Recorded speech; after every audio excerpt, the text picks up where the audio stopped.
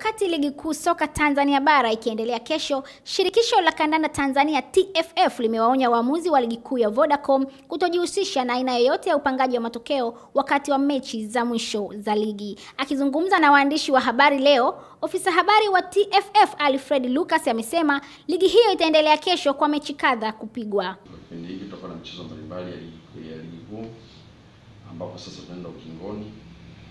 E, kwa siku ya kesho kuna michezo kadhaa ambapo mchezo wa awali kabisa utakaofanyika alasiri kesho mchana ni kati ya Rock Shooting na Majimaji kwenye uwanja wa Mabatini, lakini baadaye tunatarajia kuna mchezo mwingine ukiwemo wa eh, Toto African akicheza na, na Simba, alikadhalika Mketi Ruvu akicheza na, na Azam.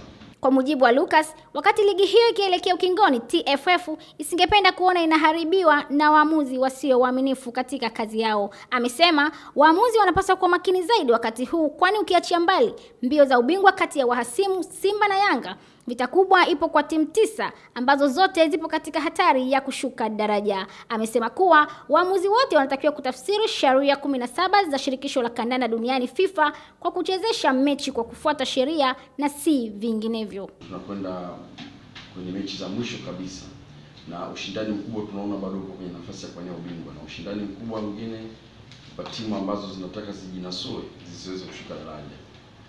Tayari tumeshazungumza na baadhi ya waamuzi wote wanaochezesha michezo hii kwamba hawana budi kutafsiri sheria kumi na saba za mpira miguu uwanjani, vinginevyo kanuni iko wazi, taratibu ziko wazi kwamba anaweza kuchukuliwa hatua kama wataendesha michezo hii kwa kujali zaidi pengine ukanda au wanakotoka au kushawishiwa kwa ushawishi wote labda wa pesa ili waweze kuingia na matokeo uwanjani. Upangaji wa matokeo haukubaliki hasa kwa kipindi hiki, kwa sababu ushindani ni mkubwa, wenyewe wanaona hali halisi.